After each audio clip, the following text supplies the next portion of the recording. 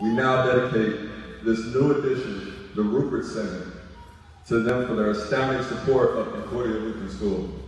Please, everybody, stand up and welcome Ruth Ruppert.